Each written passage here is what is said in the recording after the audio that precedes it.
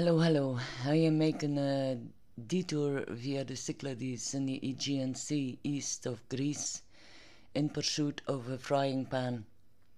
For this to make sense, it is better to watch episode uh, 13 first so you get a better idea on what I am about to present. I am, of course, talking about the late Neolithic Cycladic uh, vessels defined as frying pans. After summarizing the issue of the lids serving as calendars, mainly for tracking synodic periods of the planets, I want to list a few connections which I made uh, to these items. It has already been proposed more than a century ago by scholars Papatanasoglu and Georgouli uh, that these vessels were used as mirrors they are dark and glazed on the inside, and when filled with water, the water surface becomes very reflective because of this, as ascertained via testing.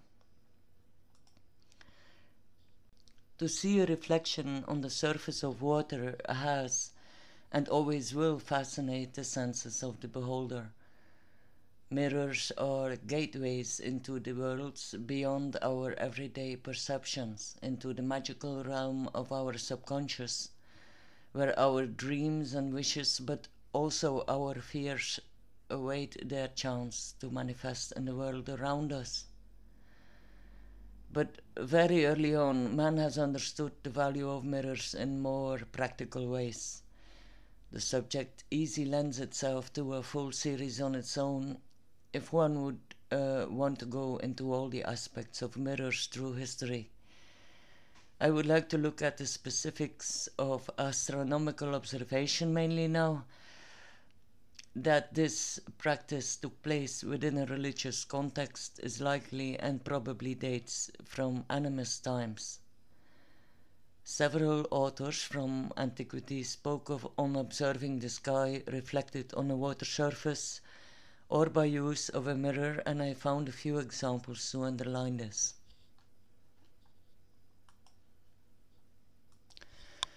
Santa Cristina, a Nuraghic site located in the south of Sardinia, west of Italy, can be exemplary of such a Neolithic observatory that undoubtedly was the center of religious practice. It consists of a tholos structure uh, built underground with the stairs leading to a water waterhole or well situated underneath a central round opening in the top of the structure. Every full Saros cycle of 18.61 years, moon's reflection matches the pool under the tholos almost accurately. This PDF by Arnold Lebeuf describes how moon illuminates the inside as it rises in the sky. This illumination descends along the wall layer by layer in a speeding tempo. Once it reaches the surface of the well, the illumination connects with its own reflection on the water surface. This connection, having the appearance of a ladder of light, remains for a half an hour to proceed into ascension and to eventually leave the water at the bottom of the Tholos in full darkness again. During the time of construction, however, Moon had a different angle of declination, which means that when it reaches its highest point, moonlight would have let go of the walls for a certain short amount of time. Some archaeologists argue that the pool at the bottom of the structure was used by women for ritual cleansing baths, and that this reflection of the surface or on the water surface is merely a matter of coincidence. While others stress that this is not the case and that the construction in Santa Cristina is, or better was, that of a very precisely built lunar observatory. I say was because, like I said, the declination of the moon has changed during the last 2000 years with a third of a degree. The close connection with time division is already apparent in the etymology of the words moon and month, or their equivalents in many languages that are believed to stem from the Proto Indo European root me, which means to measure. A fertile woman expresses that measure in time with her menstruational cycle. If I am not mistaken, the very first calendars ever found, dating deep back into the Neolithicum, are all based on the moon. Over time, lunar calendars merged into lunisolar and eventually into solar calendars. There are still calendars based on the moon in use, the main being the Islamic uh, calendar. The Hebrew, Thai, Chinese, and Hindu calendar are lunisolar still to this day, each having their own way of intercalculating both lunar and solar, solar periodicities. But what the well of Santa Cristina is concerned, despite some reports of uh, peculiar, peculiarities happening uh, during a solstice, Lebeuf denies any grand astronomical value at the site apart from the one taking place during lunastice. There are a number of these sacred wells around Sardinia, all dating between 2000 and 1000 BC, and they do not follow the same rule of orientation. I do not know if these all display the same camera obscura effect on these moments, although most are built in that same tholos or beehive style, which provokes this effect. I tried to find more solid uh, evidence for the specific connection to solstices, uh, failed to find anything, and abandoned that search pretty quickly. Just like the other Abrahamic uh, religions, Christian doctrine, or at least the symbolism it appropriated, has largely been uncovered as a veiled rumination of sky and solar worship. Maybe fitting in the context of this presentation is the story of Jesus walking on water. In Canticum Canticorum, a religious text from the 4th or 5th century, written by Bishop Gregorius of Nyssa, we read, We see Jesus as we see the sun by reflection in a mirror, and we see the invisible Jesus as they see the sun using a clean mirror. In Plato's allegory of the cave, Socrates describes the difficulty experienced by the prisoner in adjusting with adjusting his eyes to the light of the outside world without using its reflection on water or another medium. Also, Seneca describes the use of a bowl of liquid in order to capture the image of the sun during an eclipse. When you search for how to safely watch a solar eclipse, you will often find that this method of, of, of uh, observation through the use of a water bowl is stated to be unsafe. And who am I to contradict this warning? Perseus was well aware of the danger of looking into Medusa's eye, uh, nevertheless, he used the reflection to defy her. And now that I mention Greek myth,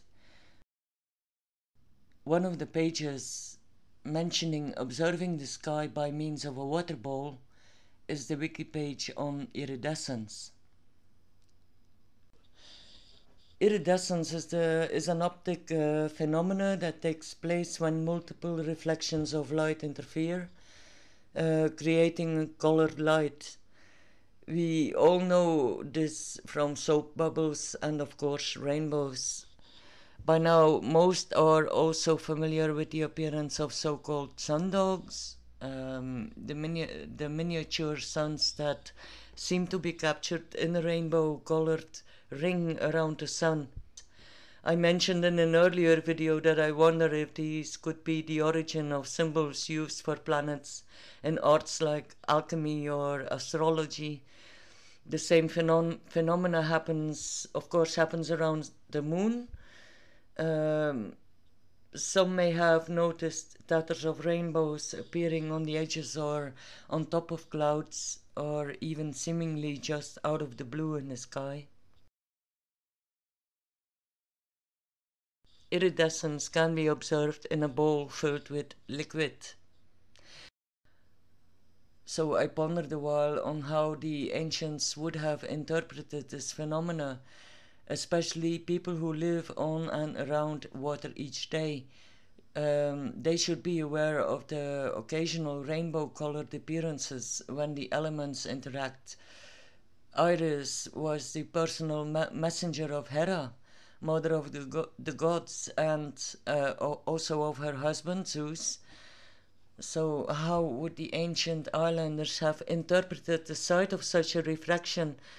Would it be as a message, messages of the gods? But of course, it isn't clear whether such a deity was at all present already in this early stage of Aegean uh, history. Another thing mentioned by, by Wiki that can be used to watch iridescence and eclipses is, of course, dark glasses. And the ancients did not have those, but they had this. Obsidian is a volcanic glass type uh, with slight signs of crystal formation. Humans have used it for making tools, etc., uh, since at least a half a million years the abundance of quality obsidian that can be found on the Cyclades allowed a certain specialization among the population. This material was used to carve their enigmatic idols. They, traced, they traded both their uh, craftsmanship as well as their obsidian, and it knew a wide distribution range until the use of, of the mineral declined during the Bronze Age in favor of metal. Long after that, it was mainly used in mosaics. I tried to find evidence for the manufacture of mirrors or sheets of obsidian in that region, but I only found a study from Mesopotamia. I thought it would be reasonable to carefully assume that the quality of obsidian for shielding out sunlight might have been known to the ancients some way or another. The Olmec and Maya were well aware of the qualities of obsidian for production of mirrors. In fact, uh, the magic mirror which belonged to Dr. John Dee, uh, who was Queen Elizabeth's alchemist and court magician, was a South American import. He presumably used it to summon demons and to gaze into the spirit world, a divination practice called scrying that has long been upheld in the women's quarters of old Europe's farming communities, but has now uh, been new aged, uh, so to say, by neo pagans and such. I suspect Dr. Dee used it to view the eclipses more than anything else, but who really knows what he ventured into? Katoptromancy means the act of mirror gazing when describing his fictive hero Hippias in his Hippias or the Bath. The Syrian second century writer Lucian of Samosata says the following thing about him. Everyone else thinks himself a man of parts, if he is held skilful in some particular art or science to which he has exclusively devoted his time and application. But nobody seems to contend with him for this first rank among geometers and mu- musicians, and yet he shews himself as accomplished in every part of these sciences, as if he had applied to none other but them alone. How high he is advanced in the theory of light, its rays, and their refractions in catoptromancy as likewise in astronomy, wherein all his pre- predecessors appear only boys to him. Above all those, to praise him as he deserves would take up no little time. just like a bowl of still water can be used to observe celestial movement, also a, also a thin sheet of polished obsidian can suffice for the, the purpose of watching an, an eclipse. In this paper, presented by Witt and Rappenglück, a number of obsidian artifacts are presented, 7,000 years old and found in Anatolia, and they were probably used as mirrors. This has prompted the historians to investigate whether the production of a Herschelian telescope, that is, a telescope using mirrors, could have been constructed by Neolithic man.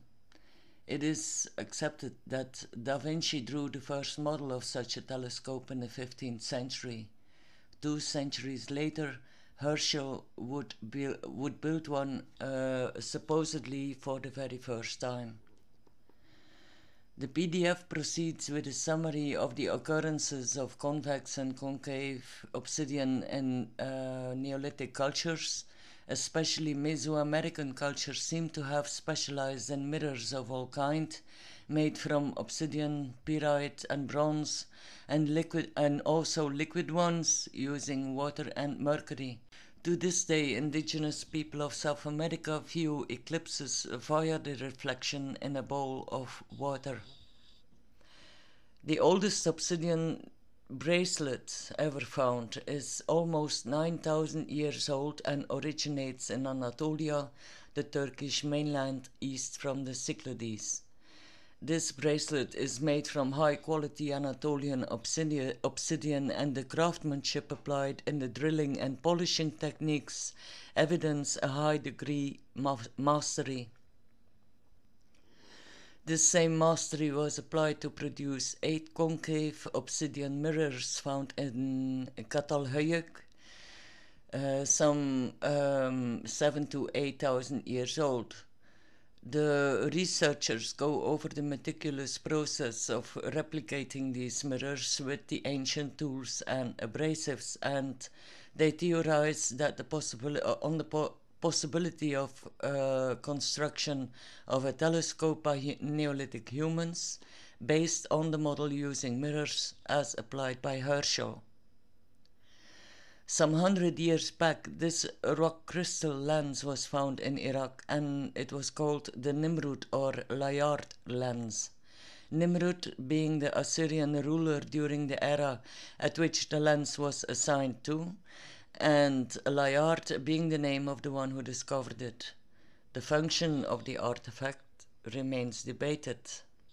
Although some propose that this artifact attests of the far reaching uh, astronomical knowledge of the Neo Assyrians, others remain skeptical, however, uh, what their uh, possible knowledge of telescopes is concerned this lens is not good enough to be used for astronomical purposes. It could have served a craftsman since other artifacts were uncovered at the site bearing minuscule inscriptions. The counter argument is that the lens could have been used by the craftsman to manufacture these tiny carvings. This is another short recommended PDF for you. For you, um, I cannot go into the details uh, because more related factoids I want to share instead. In Euclid's book, Data Optica et Catoptrica, is written If we fill a plate with water, we can observe the shiny burning image of the sun. Using a dish, that contains water and observing the reflected and projected image on the wall. Actually, I cannot check that. I, it seems there is still mainly Greek copies of that book online. Maybe someone else has more luck searching for a good translation of Euclid's book. The use of reflection on mirrors or a vessel filled with water in order to observe sun and moon must have been relatively widespread, which can be derived from different ancient texts. I can only list so much, though there is another additional feature I haven't spoken of yet. It is that mentioned by Euclid of the reflections from the water surface of such eclipses casting a projection on wall or ceiling. I know basically nothing about optics, and while looking if I could find anything of information on particularities of this kind of natural cinematography, I encountered this optical instrument called camera lucida. Earlier, when I addressed the Tholos of Santa Cristina in Sardinia, I mentioned the camera obscura uh, effect, uh, which is caused by sun and moonlight casting a projection, a projection on the dark walls. Um, camera obscura was the pre- predecessor of the photo camera. It is a light tight box with a small hole at the front, and if you aim that hole uh, towards an illuminated object, a reduced inverted image of this object appears exactly opposite of that hole on the rear on the rear wall. Um, sort of what happens with an image inside your eye. Now the wiki page on Mesoamerican mirrors mentions the possibility of the early awareness on uh, of these people on how to generate uh, such a, a camera lucida effect and i personally had never heard of this trick before so i thought i'd go check what exactly this was all about this is the last thing i would like to share for today again via wiki we get the following explanation the camera lucida performs an optical superimposition of the subject being viewed upon the surface upon which the artist is drawing. The artist sees both scene and drawing surface simultaneously as in a photographic double exposure. This allows the artist to duplicate key points on, of the scene on the drawing surface, thus aiding in the accurate rendering of pers- perspective. Johannes Kepler was the first one to describe the camera lucida, uh, which is Latin for well lit room, contrary to camera obscura, meaning dark room. Um, it was patented uh, 200 le- years later, and it's generally believed that this must have been about the first time someone actually fabricated one since then, this instrument has been refined by artists and is basically an easy tool for anyone who wishes to produce a very realistic image. In 2001, Pete, uh, artist David Hockney published a book called a Secret Knowledge Rediscovering the Lost Techniques of the Old Masters. It would cause a wave of disbelief and indignation among the artsy establishment. Together with physicist Charles M. Falco, he claims that the level of accuracy, accompanied by the occurrence of a, sudden and radical ch- style change in drawings and paintings, uh, is proof that the instrument was discovered by artists at least 300 century, uh, three centuries earlier. I mean. I have listed some videos in the description in which Hockney makes his point and demonstrates how artists like uh, Caravaggio, Vermeer, Van Eyck, and even Da Vinci, among other old masters, probably used optic tools like concave mirrors to reach such an accuracy and realism. He shows what the advantages and the drawbacks of the camera lucida are uh, by pointing out the consequences as detected in their paintings and drawings. Uh, I am not claiming here that the ancient Cycladic frying pan astronomers used any such techniques. But this last story about the camera lucida and the Hockney Falco hypothesis is, in my opinion, an example of how easy it is to underestimate the ingenuity of our ancient ancestors, of how blind also the specialists have become for our natural sense for discovery and exploration, an essential drive for our evolution as a humankind. I don't want to sound as if I do not appreciate the work of historians and archaeologists because that is, well, it's that is certainly not the case. Um, my point is rather that it is a pity how the mainstream and the so-called fringe only seem to be aware of the sparse outlets of certain elitarian uh, mouthpieces, whilst uh, yeah, so many put their heart and soul in their work each day and the same for the art world. Luckily for us, some do not mind the risk too much of career loss or lack of publications and they make their work available for every, anyone who loves to research things themselves. It hasn't been about the swastika this time, but it is still the symbol that brought me to the topics I put in my presentations and there is still a bunch of new and old info on the Cycladic uh, vessels and stuff uh, that I want to share.